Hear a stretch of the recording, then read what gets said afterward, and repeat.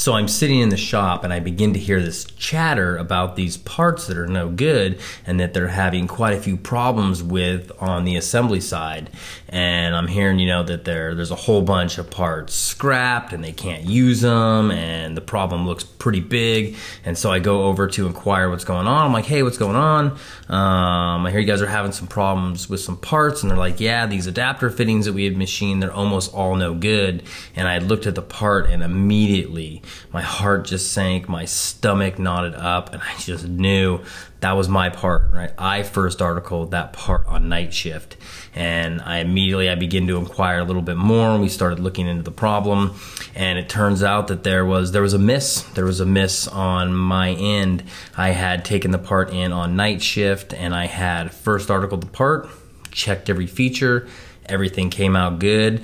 But the problem was when I made the in process inspection form, I made a call, right? I put the critical features on there. Well, there was one feature that had a run out call out from uh, one diameter that was machined on op1 and another feature that was machined on op2, and it was a run out. Well, the way that the job was set up is that that feature that was machined on op1 was part of the work holding on op2, so it should have controlled for it. Well, it turns out that it didn't didn't, right? We looked into it a little bit, and somewhere in the manufacturing process, that fixturing had got damaged. And so, what I thought would be basically sort of a, a no brainer, I didn't want to slow up the manufacturing process, turned out to be a very large problem. In fact, I found, I think I heard something around like something like $53,000 in lost parts, and these were small parts, so it was a big problem. Some of them on a batch inspection had managed to get through to assembly, and that's where the problem originally popped up. They weren't working right. They weren't weren't working as they were supposed to. And further investigation just found this huge problem, probably one of the bigger, or not biggest, uh, mistakes in my manufacturing career. And I remember taking from that, you know, kind of really, kind of a couple lessons. One,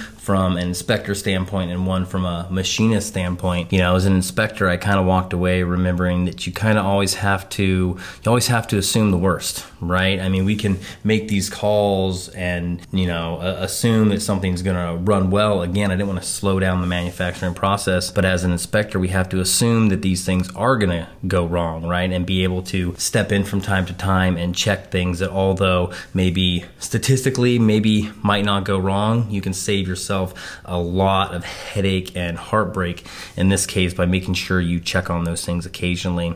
And, you know, being from a machinist background myself, too, I remember being told this and, you know, I like to tell all machinists that I kind of meet too that even though you have an in process inspection form that has, you know, a set of critical features on it, you are nonetheless still responsible for that part. And sort of, you know, going back to that inspection example, you should assume the worst that just because something is supposed to hold from part to part, just because it is supposed to be controlled, does not mean that it actually is. And sometimes things go wrong. And we have to be at the top of our game, whether that's from an inspection standpoint or a machinist standpoint. We have to know what we're doing, we have to know the features we're controlling, and we have to, you know, assume or at least consider the fact that things might go wrong because, like in this case, things went very wrong. And it was something that I had to own, I had to accept and I definitely learned a lot from it. But so again, like I say, we got to watch out. Even those small things that we think are insignificant